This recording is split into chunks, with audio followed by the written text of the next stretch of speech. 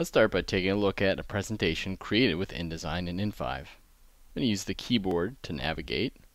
I can also click with my mouse. You can see when I move the mouse the cursor appears and then it goes away after I stop moving it.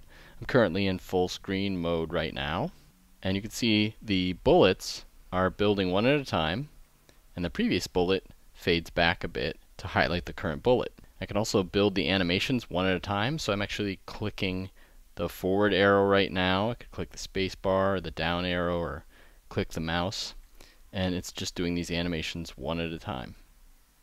In addition to all the things you might expect from any other presentation software, we can also take advantage of all the interactivity that InDesign and In5 present. So this is actually a multi-state object and I've used In5 to create a flip card widget with it.